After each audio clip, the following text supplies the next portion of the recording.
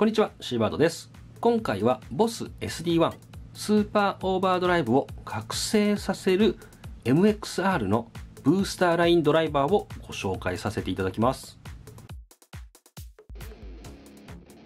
BOSS SD1 といえば誰もが知るオーバードライブで単体の歪みとしても使えるしブースターとしても使える非常に使い勝手のいいエフェクターですそのスーパーオーバードライブを覚醒させるペダルがこのブースターラインドライバー。MXR のブースターです。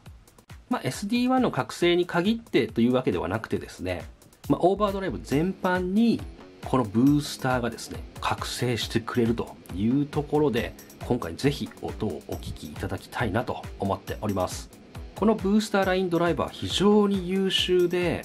まあ、俗に言うクリーンブースターという類になるんですけれども存在感抜群です。認知度がそんなに高くはないかもしれないんですけれどもめちゃめちゃいいブースターですね。で今回の動画ではまずこのブースターをですねアンプのシミュレーターにつないだ状態でオンオフして聞いていただきます。アンプ直の状態でもですね非常にメリハリが分かります。でそのアンプ直の後は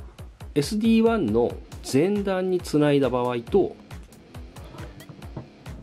後段につないだ場合この2パターンを試していくんですけれども基本的にはですね前にブースターを置いてある場合は歪みをアップさせる。歪みの後段にブースターを置いた場合は音量をアップしてくれる機能になります。で鳴らした感じですね。前段に置いても後段に置いてもかなりいい感じの音がしました。SD1 単体で鳴らすよりもがぜ音が良くなるのでぜひぜひですねお聴きいただきたいなと思います。